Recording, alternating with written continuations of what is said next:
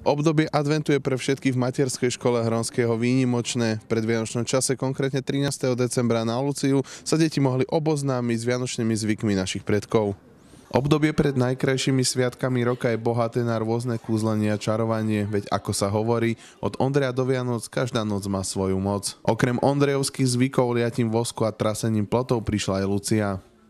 Aby sa jej deti nezlákli, obliekla sa do bielej plachty. Lucia krídelkom vymietla všetko zlo, krivdy, bitky, hnevy, hambu, strach a nezhody. Omietla aj kuty v triede. Cesnakom natrela prach a kľúčku a na dvere nakreslila kríž. Teraz sú špunti chránení a choroby a zlí duchovia sa už k ním nevrátia. Nasledovalo čarovanie s lodičkami zo škrupín a zapálený sviečok. Siedmi kapitáni sledovali svoju plavajúcu lodičku veľmi pozorne, kam dopláva lodička, blízko či ďaleko, alebo bude potopená, čo znamená nešťastie.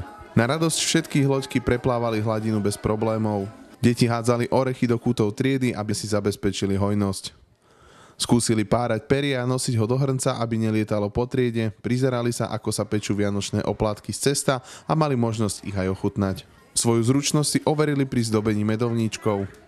Prišlo aj veľké prekvapenie, koledníčky, pastierky zo základnej školy Gorazdova koledovali a prišli sa pokloniť Ježiškovi v našom prekrásnom Betleheme. Speváčky zo skupiny Rúža zaspievali spolu s deťmi Vianočné koledy, rolničky, rolničky a program vyvrcholil piesňou Tichá noc.